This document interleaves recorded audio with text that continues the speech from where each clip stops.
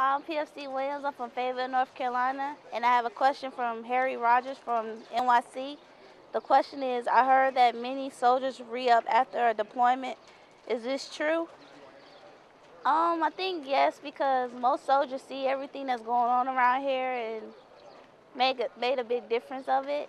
And I will re-up because I would like to see more that's going on instead of Iraq, Afghanistan, and enjoy more that's going on with the military life.